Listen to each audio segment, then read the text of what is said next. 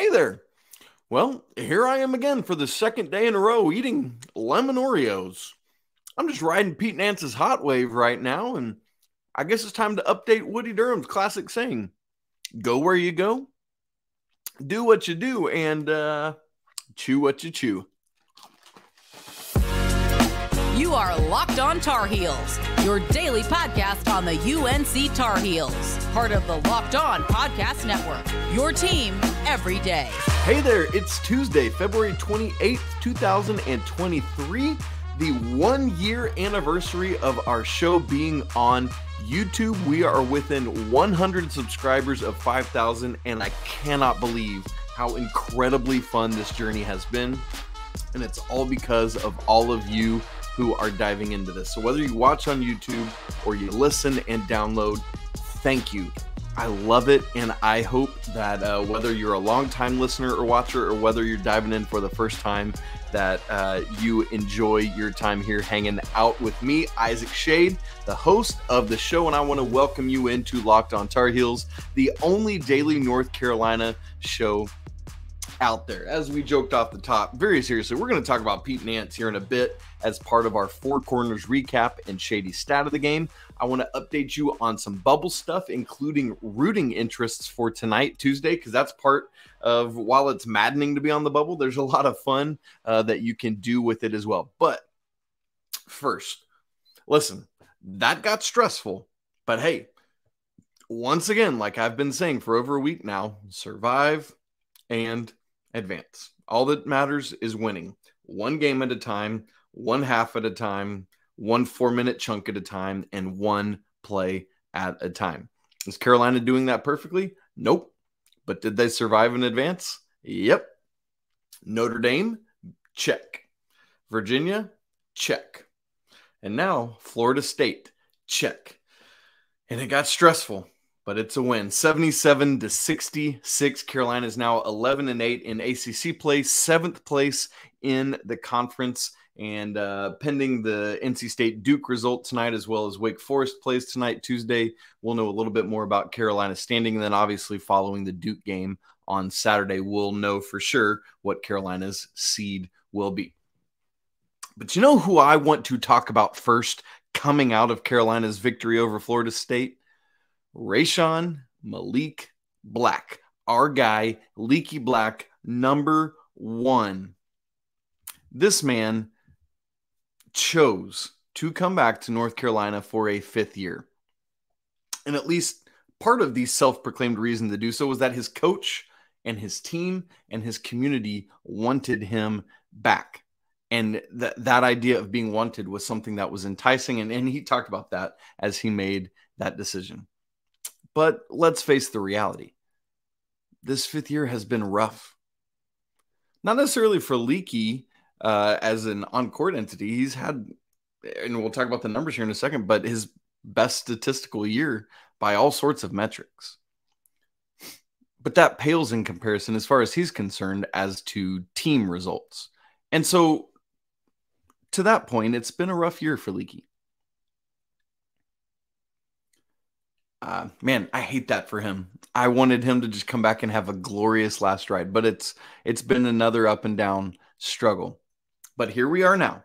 And Carolina has done enough in these past 3 games we just talked about to put themselves back in position ahead of the Duke game on Saturday to maybe not yet solidify their place in the NCAA tournament with a win over Duke, but to man, at least put them right on the precipice of doing it because here's the thing other teams are other bubble teams are going to take losses. So if you just keep winning, you're going to be in good shape. But so much of that, so much of these past three wins and all the wins this season are because of number one, Leaky Black. What a guy. I just like, I get emotional um, thinking about him being back and everything he's given to this program. Um, man, just a good man.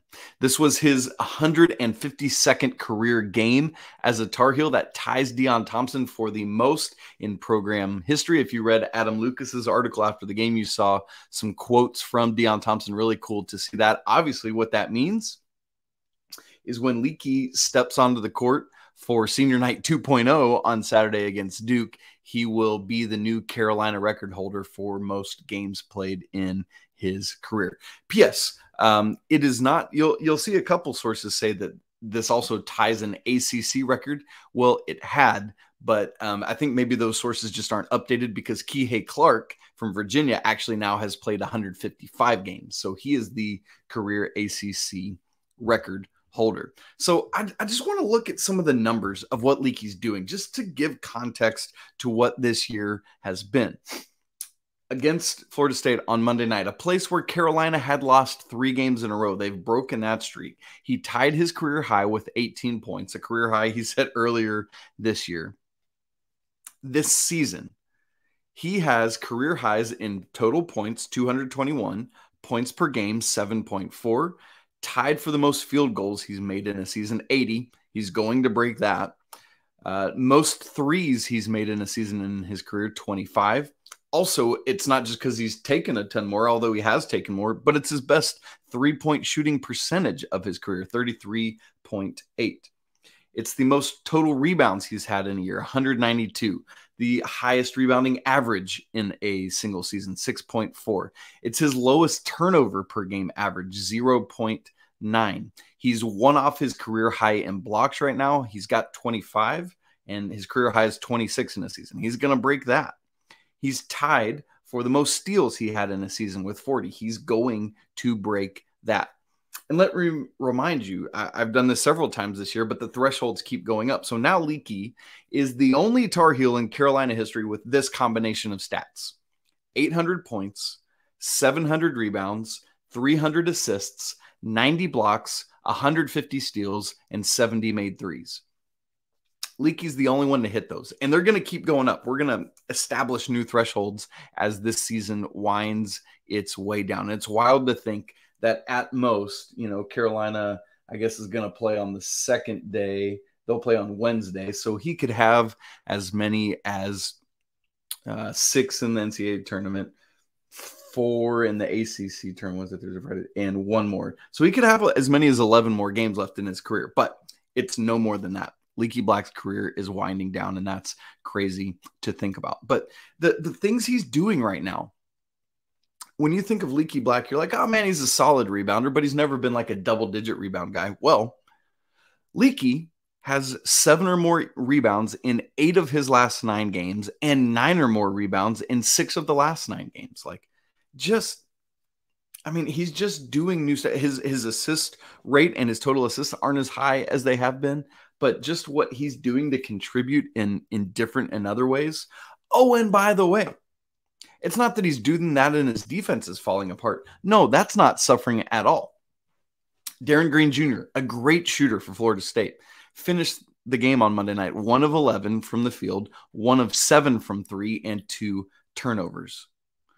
Oh, and perhaps best of all, these two last things, Cory Alexander is on the broadcast. I'm sick and tired of hearing him talk about Leaky's height, but what he did talk about is good is that NBA draft scouts are in the building. They're watching all sorts of people, but they're watching Leaky because he's turning into a legit 3 and D guy that an NBA team's going to want to take a chance on. The defense has always been there, but the three-point shot is coming along. Is it awesome and stellar? Nope. But he can knock down that corner three. He hit a wing three, maybe two wing three. Two of his three were wing threes on Monday night. And so NBA guys are looking at Leaky. They want him. I would love to see him carve out a space for himself in the NBA. What a story that would be.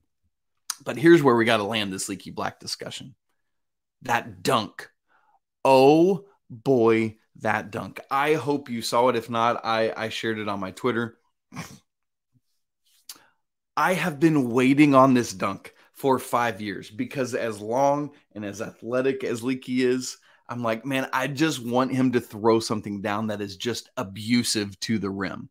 And this, we got it on Monday night. The most vicious slam of his career in a perfect moment. It was Florida State has gotten this lead down to four. It's like, what is going to happen? Well, Leaky Black, a, a now somewhat respected, at least you got to get out on him, three point shooter, it's a great pump fake on Matthew Cleveland. It's a perfect pump fake. drives to the rim against the second high tallest team in all of Division One, and is like, okay, I'm gonna have to dunk this, and he does. It's the perfect pump fake, perfect pump fake, the perfect finish, and the perfect moment for Leaky to basically put the lid on the game because uh, Florida State never really pushed uh, back closer at that point. Leaky Black, what a guy. Friends, please, please, please enjoy him while he's still here because he is just one of those do it all, jack of all trades guys that Carolina has been blessed to have. Well, we have certainly other things to talk about from this game, but I just wanted to give Leaky some love. We're going to have our four corners recap and our shady stat of the game. I can't wait to share those with you in just a second. But first, this episode is brought to you by Built Bar. Are you looking for a delicious treat that's healthier than Pete Nance's lemon Oreos? Well, uh, then I have the thing for you, and you got to try a Built Bar. And if you're like me, you're trying to eat a little healthier here at the beginning of the year, and you want to do that without compromising taste, well, Built Bar is the thing for you. Why is it so great? Well, in addition to being tasty and healthy, it's covered in 100% real chocolate. It comes in great flavors like churro, peanut butter brownie, just a couple examples there. And by the way, even while it tastes so good, they still have great macros 130 calories. That's not bad at all. Four grams of sugar, and yet 17 grams of protein. Meanwhile, you don't have to wait around to get a, an order from built.com anymore because you can run down to your local Walmart and get a four pack of like cookies and cream. Or if you're, you know, maybe you got a party going on and you want the bulk size, you just head on down to Sam's Club and they'll have it right there for you. Built Bar, go get you some. You won't be disappointed. A proud sponsor of the Locked On Network. All right.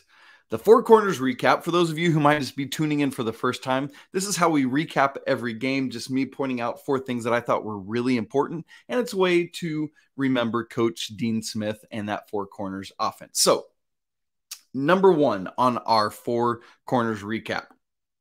I said it yesterday on the show coming off of the Virginia game. I'm going to say it again today, just like I was eating the lemon Oreos today.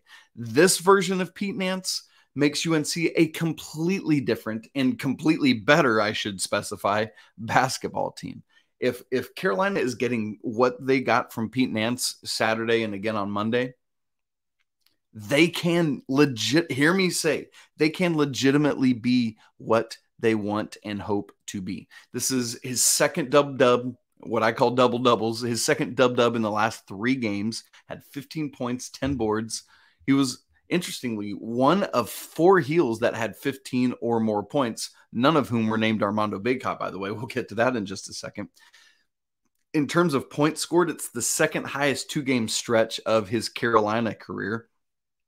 Had 28 and 11 in back to back games earlier this season, but just two points off of that. Not to mention, perhaps the most important thing that Pete Nance is doing right now is he's hitting from the outside. He was 4 of 4 on Saturday, was 3 of 6 in this one, meaning he's 7 of 10 in his last two games from 3.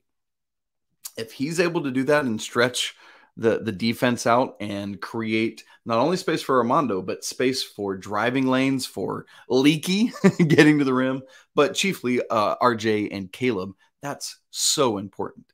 And here's an undervalued thing that maybe you've missed. Pete Nance's free throw shooting. It really started to catch on with me because I was down the stretch. Pete Nance was the one that was at the free throw line, was six of six to help close out the game. Maybe you've seen this, but Pete Nance has now hit 18 straight free throws. He is the second leading free throw shooter on this team behind only RJ Davis in terms of like guys that qualify. 82.5% on the season. Yeah, did you realize Pete Nance was doing that? Probably not. Let me know in the comments if you did, and uh, power to you.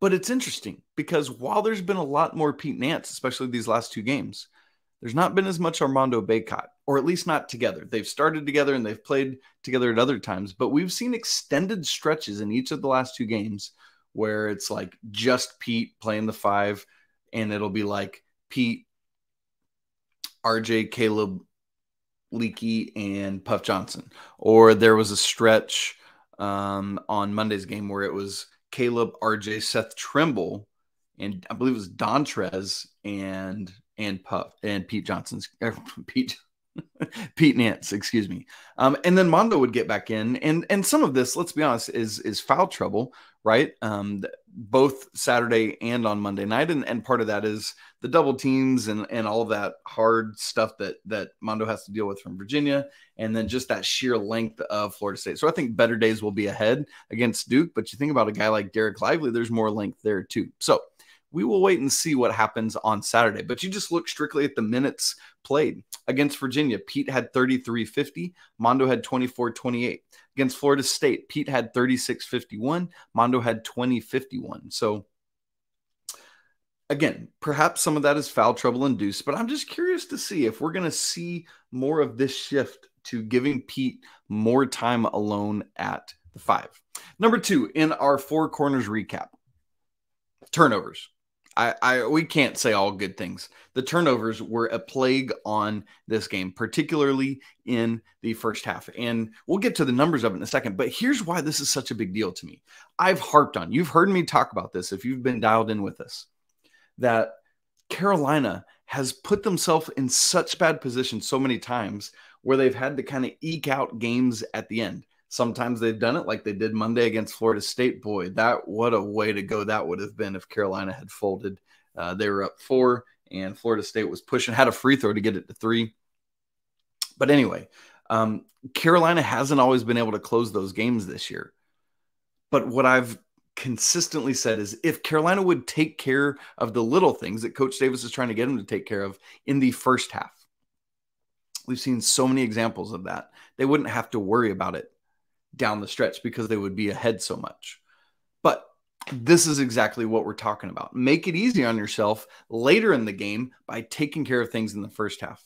Unfortunately, in the first half, Carolina had this stretch of like seven possessions where they turned it over on five of them, finished the first half with nine total turnovers, and committed a turnover on each of the first two possessions of the second half.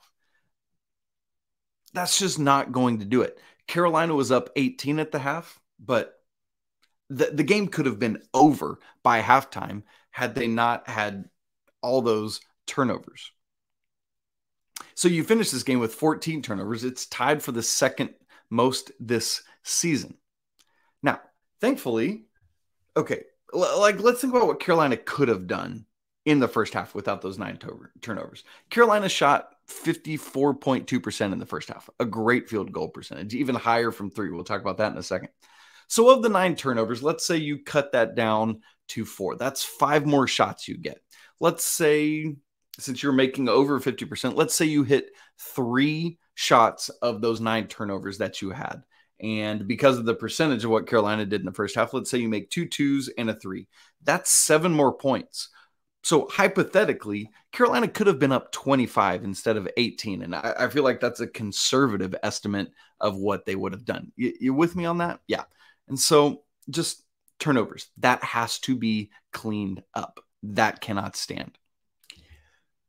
Four corners point number three. Thankfully, though, Carolina went wacky yet again from the three point line in the first half. In fact, they went wackier than they did Saturday against Virginia. The onslaught the avalanche of threes were insane and they helped cover over some of the sins of the turnovers. And and frankly, they they covered over some of the sins of Carolina not doing much else well and made that first half kind of padded, right? Like what happens in this game without that? I, I don't know that I want to consider that, but you don't have to. That's the last true road game of the season. Now all you got is Duke at home. and then neutral games the rest of the year. So, way to go, Carolina. Fourth road victory of the season and back home in neutral the rest of the year. But Carolina, at one point in the first half, had made eight of their 13 three point attempts and then went into halftime having made 11 of 18. That's 61.1% from three in the first half. Keep in mind, Carolina has only had two entire games in which they mo- made more than 11 in the entire game. That was against the Citadel and against Clemson. And they made 11 in the first half. Wild stuff there. And I mean, because of that, the halftime score ended up being 27 to 25. Oh no, I'm sorry. That that's just if it was Caleb Love and RJ Davis combined. They outscored they outscored uh, Florida State by themselves 27 to 25. The the actual halftime score was 43 25. That's exactly what the Tar Heels had to do on the road. Get out to a big lead um, that hopefully they didn't have to do what they did in the second half, but it ultimately allowed them to. But again, imagine what that halftime lead could have been without all those turnovers. And and remember, that's without with without any points from Mondo, who had zero first half points, finished the game with one. Final point in our four corners recap, number four.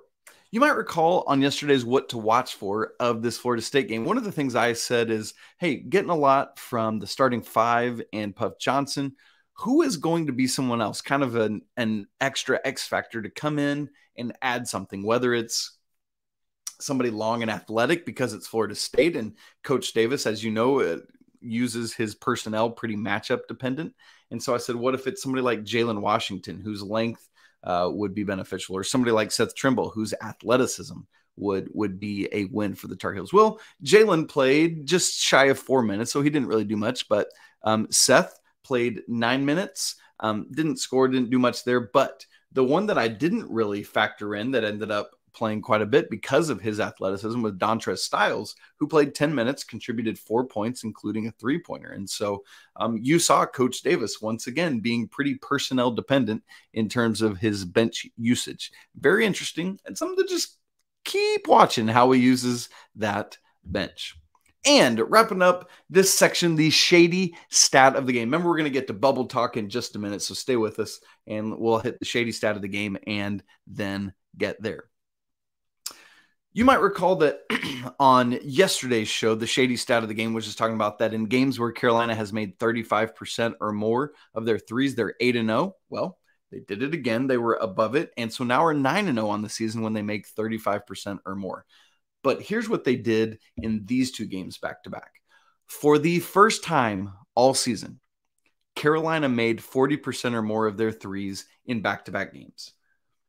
They had not done that all season before this game versus Virginia and this game at Florida State.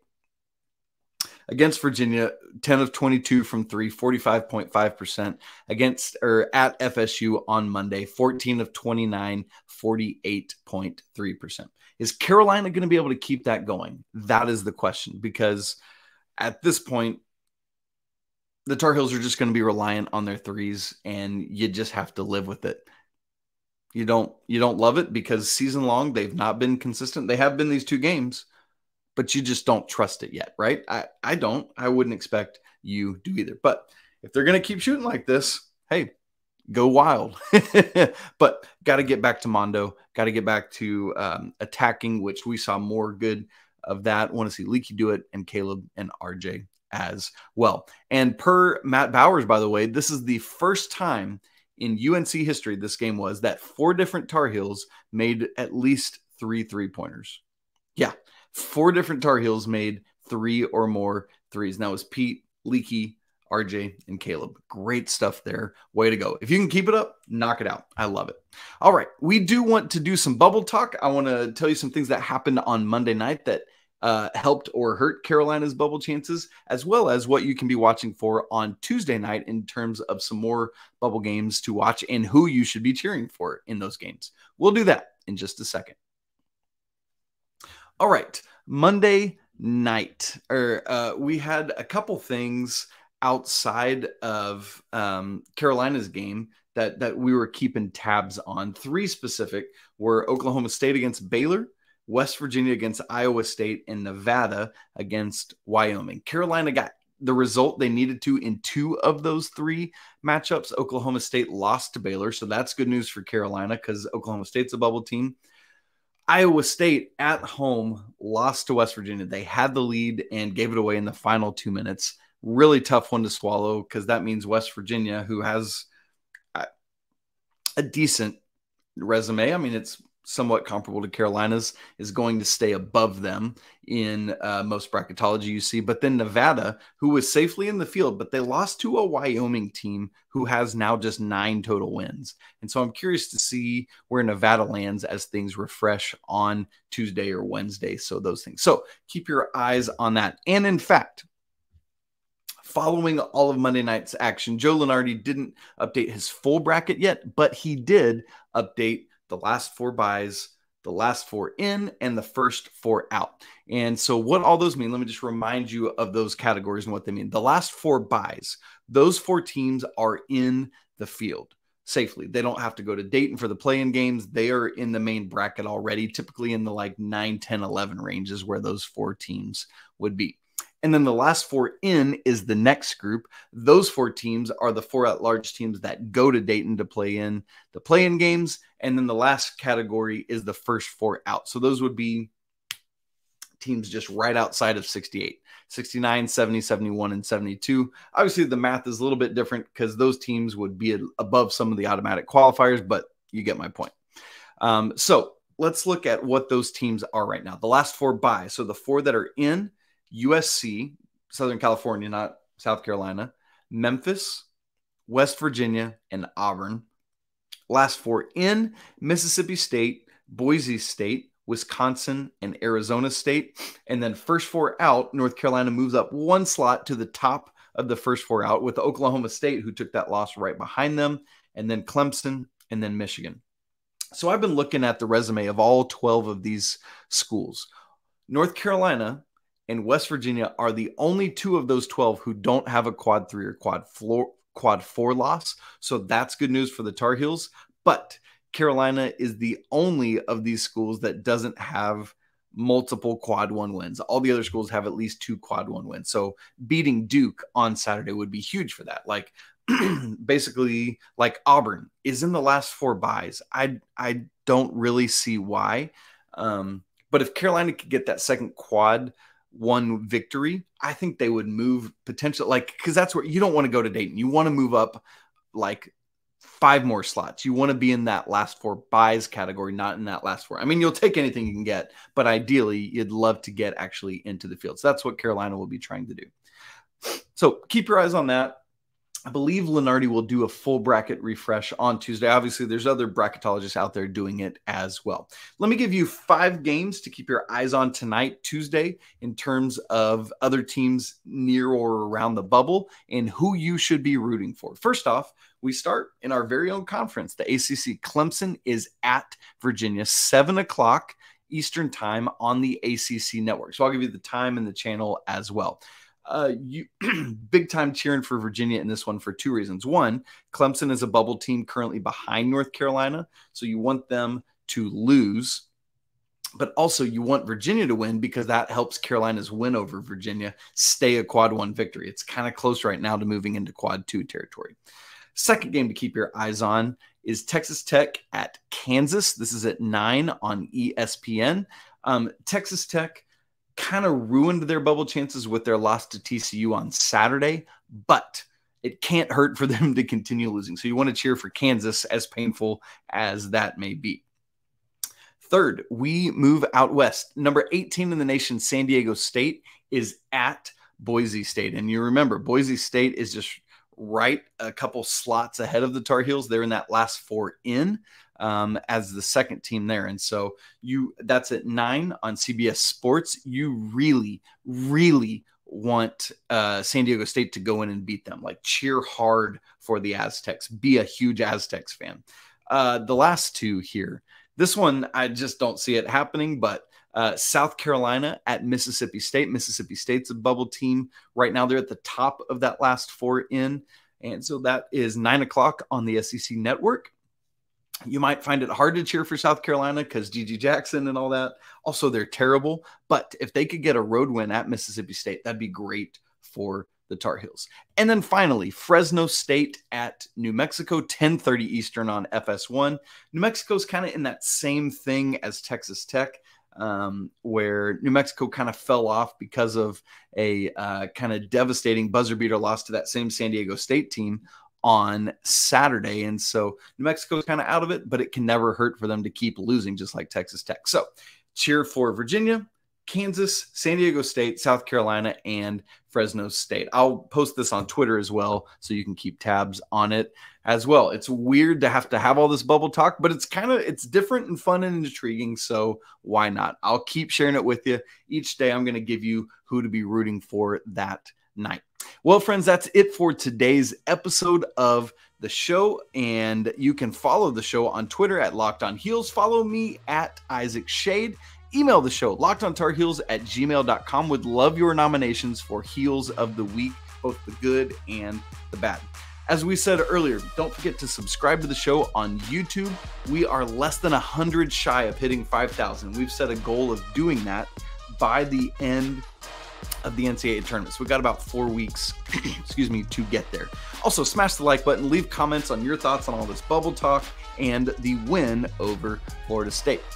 Also, for your next listen, check out our brand new podcast, Locked On College Basketball. If you're getting excited about March Madness and everything going on with that, make sure you check out this new show, which features me and my co host, Andy Patton, and we'll bring you everything you need to know uh, from around the world of college basketball on and off the court. You can find it on YouTube and anywhere else you get podcasts. Thanks so much for spending part of your Tuesday talking Carolina with me. I hope that you remember that it's always a great day to be a Tar Heel. Until tomorrow, peace.